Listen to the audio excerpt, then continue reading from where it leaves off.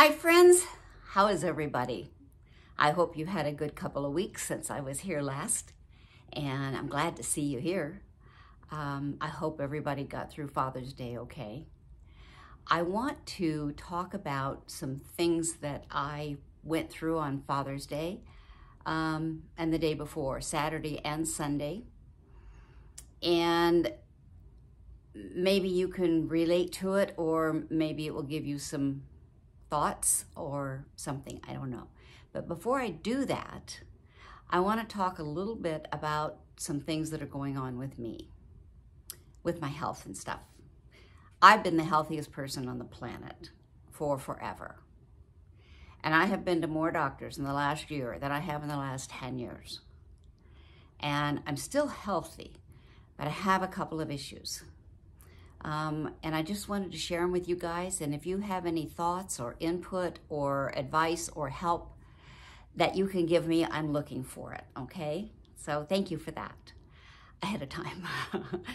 um, number one is um, when I got the virus last January, you guys know that I had that.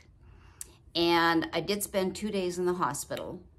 And at that time, um, they ran, you know, when they get you in there, they're going to run everything, run through, run you through everything under the sun, trying to find something. And so they did, and they did. and they found a small um, blood clot on my left lung. And they said it was very small, but um, they put me on blood thinners to dissolve it. And they said that it wouldn't be permanent um, because I don't have a history of, of blood clotting or anything like that. And so um, they put me on the blood thinner. They put me on a real strong one. And I, I was, I just was really struggling and I didn't have my mental clarity about me. Um, that was a time when I wasn't on here for a while because I just, there was just nobody home up here. Seriously, it was awful. And so my daughter started doing a lot of research and she found out um, that they had me on, she decided, and we approached the doctor with it, that they had me on too strong a dose for my age and my weight. And so um, the doctor was willing to reduce the dose so that I could function. And so I'm still on it. So my daughter also suggested that I go in for um, having my legs um, checked to see if there was any blood clots there because they found the one here. And I thought, well, I'm fine. I'm sure there's not any, but I don't care. If you want to insist on it, I'll have it done. And so I went in and I had that done in March and I went through a lot of red tape. Finally got the results um, about three weeks ago. And there is a blood clot in my right leg um, in the biggest vein up in my thigh, which leads directly to the biggest vein to the heart. So I panicked just a little, considering I'm a pretty healthy person, very healthy, I would say. And so I um,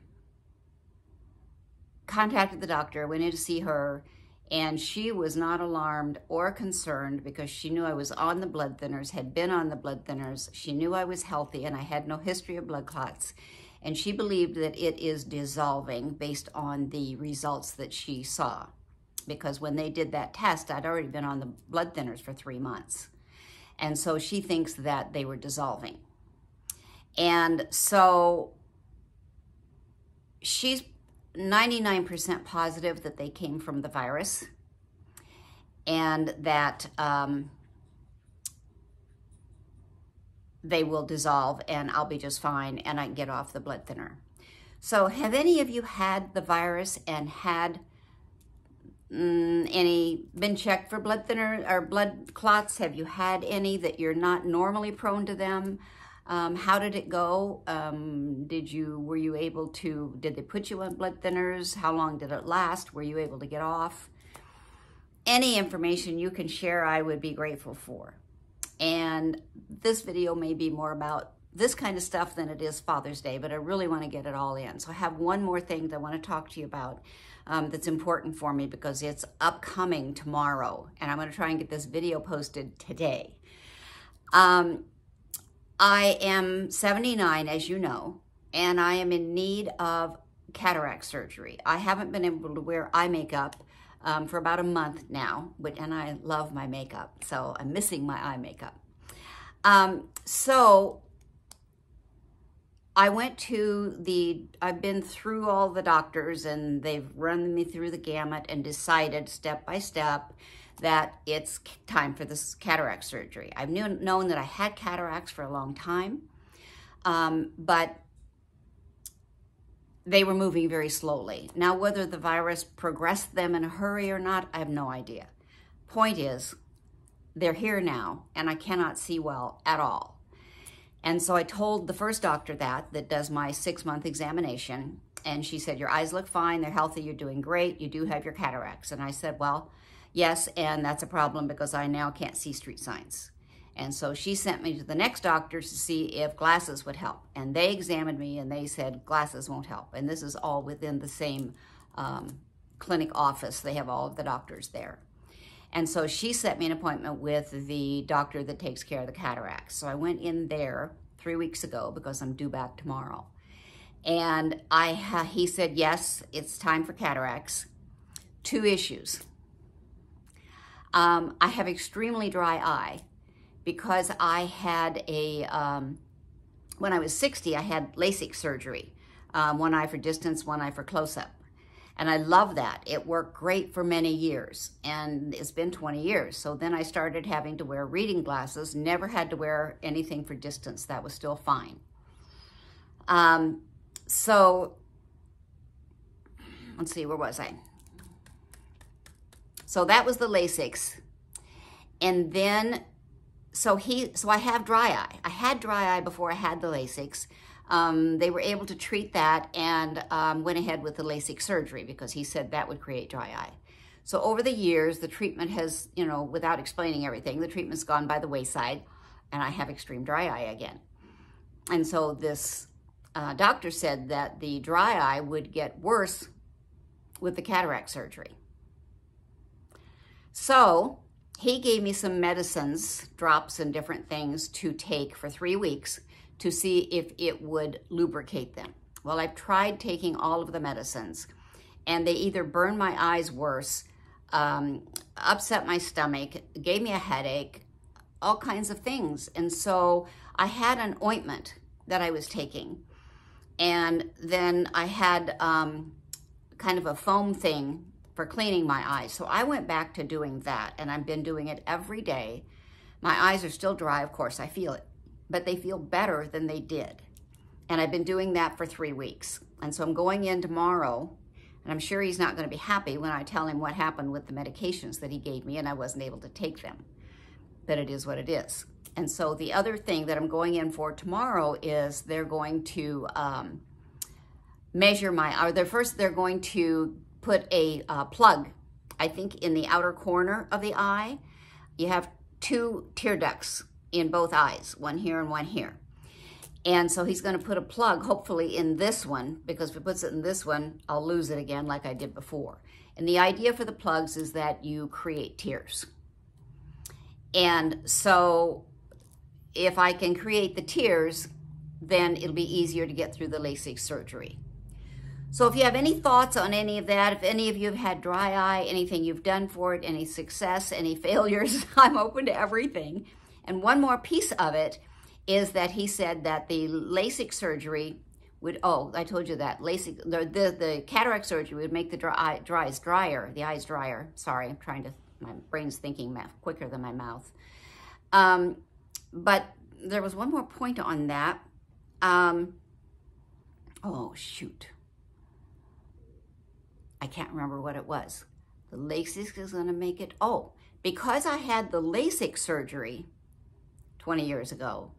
He's like, it makes it harder for them to do the cataract surgery because they need to try to match the numbers, whatever numbers those are for my seeing distance and close up, I guess. Um, they're going to try and match that. And so he said it makes it harder and the surgery may not work right. They may have to do a second surgery if they get the numbers backwards or wrong or whatever.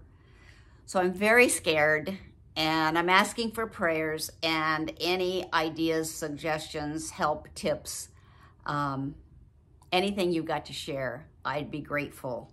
at this point for whatever you can share. So that's that. And um, I really, I hate to jump into two different subjects with you, and I have no idea how long I've been going on this one. Oh, 10 minutes. Okay, good. So I've got another five to 10 minutes to talk about Father's Day. So that's my health story, and I'm open for anything you guys can share. And now I'd like to switch gears and kind of talk about Father's Day weekend. And also, in advance, I would like to ask you that um, anything that you experienced on Father's Day weekend, whether it was any good things or bad things, or if you had any ideas or tips on what made it easier or better, um, share it with us, please, because we all learn and grow from each other because we're all just one big family here, right? So um, I want to ask you to do that for us because um, we just help each other. And speaking of asking you for things, um, thank you for watching my videos and for subscribing. And if you haven't yet, please subscribe um, if you're liking the videos and hit the little bell over there so that you can be notified um, when I have another video coming out. And also, if you're on Facebook and you would like to um, maybe get to know me a little better and I can get to know you a little better, then I really want to ask you to join me on Facebook. Just find me and friend me. I'm the only one in there under Connie Norleen, N O R L E E N. And find me and friend me. And then please send me a private message because sometimes the friend requests get lost. And I want to know if you've friended me because it's my goal to just make friends with the world and love on as many people as I can. And you know that about me, so you know it's true. Um, so find me on Facebook if you if you're on Facebook and let's be friends there too. And then we'll just double up on our friendship and, and you'll make even more friends because of the friends I have. So thank you for all of that. I look forward to seeing you on Facebook. And now let's talk about Father's Day. So um, Sunday, I went to lunch with a good friend of mine of 20 years. And our husbands passed seven months apart. Hers passed first and Gar was second. Um, we went to the same church together. We did everything together. And then we've kind of drifted apart. I don't know if it was the guys that held us together or if we just were both such a mess that we had to just find other directions to get some sanity and find out what our path was going to be separate from each other and yet still being friends. And so we went to lunch on Father's Day to celebrate our birthdays because mine's in May and hers is in June. We had a great lunch, had a lot of fun, got to celebrate together, went to Black, Black Angus. If you're from California, you may know where that is. And we went to the one on um, Tustin Avenue. I don't know what city, Orange, Tustin, Santa Ana. I don't know, but it was on Tustin Avenue. And so we went there and we had a great time. Um, we talked, we catched up, catched up. We caught up. It was wonderful. So prior to that, um, I had a trigger on Saturday. And honestly, I don't even remember what it was or when it was. But sometime during the day or late afternoon, early evening, I had a trigger. And um, I just did a lot of crying and a lot of thinking and processing and um, missing Gar. And this is my third year um, without him on Father's Day. I think maybe what it might have been was my daughter, and I had said this to someone, and I think when I told him the story, I think it kind of triggered me. Um, my youngest daughter went to um, Lake Havasu with her family and some cousins from Indiana, and they all met there um, for their trip that they do once a year. And those, they decided to do it on Father's Day. And so my daughter thought, well, sadly, my dad's not here. I don't have any reason to stay here and, and celebrate Father's Day. Um, it'll just make me sadder. And so she left and they all went to the river and they had a wonderful time and I'm really happy for them. And I wasn't alone on Father's Day because I was with my friend for like, oh, probably five hours. We came back to the house and we talked for a long time. And so I wasn't alone on Father's Day, but on I didn't know I was going to be with her that long and have people around me. And so Saturday night, mm, that hit me. And um, so then I, I did my share of grieving again. I told you it comes on and you just don't know when. So um, then I got ready Sunday morning and I watched my church online and I got ready and um, went with my friend for lunch. And then she came back over here and we visited. And we both talked, but I felt like I had the monopoly on the conversation and I felt really bad about that. Um, I tried to not to because I didn't want to make it a downer time for us because we hadn't been together in like two months. Um, but it just kept welling out and she's she's a great friend she's good to talk to and and she's a great listener. And so uh, they just kept bubbling out, and I just kept saying things and saying things. And um, here's what I came up with. And she didn't help me come up with these. It was just, I just bubbled over to her. And then later, I had um, my friend Stephanie um, from Northern California ask me how my day was. And I said, well, it was very cathartic very healing, very emotional. And the bottom line was that I ended up, believe it or not, in a lot of gratitude. And I'll touch on that um, for just a couple of minutes. What I was, my gratefulness at the end of the day, when my friend Marianne left, my gratefulness was spilling out. Because when you're in, when you're going through your beginning grieving process, um, you may not remember who was there or who wasn't there or a lot of things. And so um, I had a couple of people that weren't there and I had a couple of people that were there. Both were surprises to me. I expected the ones to be there that weren't, and the ones that were, I didn't expect. So, um, but even the ones that weren't there, they played a significant role. And so somehow, after I got all of that out to Marianne, and that's why I say the, the GriefShare groups are so important. And if you need to go back through them again, absolutely do that because you can go as many times as you want. So maybe if it's been a while, maybe you want to seek them out again and just go through another 12 week course because you'll probably have new things come up. And so I don't have time to go into because I know I always tell you guys the time. Ugh, hate when I do that. But I don't want to go over. I want I want to keep you guys with me because this is important to me and I wanted to share it. And so my gratitude um, really came, it was so many things. Like Marianne, the very first day when Gar passed, she was going home as the fire truck was here and her heart just dropped to her stomach because she knew. So she parked the car and came running in. She was here all day. She was here all night. She slept with me that night. We both slept in La-Z-Boy chairs next to each other. And God bless her. I know that was uncomfortable for her. Um, I have a neighbor that is not a real um, warm, fuzzy kind of gal, and she would come over and check on me every single morning. And one morning she came in and I opened the door and I just burst into tears.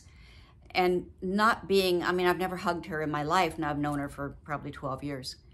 And she walked in and I started crying, and she said, Aw, somebody needs a hug.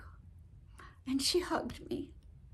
And it was the sweetest thing. And she has just had my back for three and a half years. She really has. She has been there, never skipped a beat. And so I love her for that. And um, both my daughters, in their own way, for the time that they were there, and my um, brother-in-law and sister-in-law, and my brother-in-law is now passed, for the time that they came over that day. And I'm like, no, I don't want anybody here. No, tell them to stay home. And they came over, and they were so helpful and my one grandson and his wife. No, no, I don't need anybody. They came over. And oh my gosh, I had an ant farm blow up in my master bathroom that day. And they were here. And I came out and I'm just a blubbering idiot mess. I was a mess. All over the ants because, you know, it was just one more thing. and so they're like, very calm and they're like, well, where's the nearest Home Depot? And they left and they came back and they took care of them, killed all the ants, cleaned it up. I never, never thought about it again, never knew anything about it. And the ants didn't come back. I don't know what that was about, but they took care of it for me. So many things like that. People were there. And I've never taken the time to thank them. And so I'm doing that now. I wrote it on Marianne's birthday card. Maybe it should have been a separate card, but I wrote it on her card. And I'm sending out cards. I'm going to write notes to all of those people. Whether it was a little bit or a lot, no matter how big or small, I want to thank them for being there for me, for everything that they did or the little bit that they did because it all counted and it all added up to me not having a nervous breakdown that day.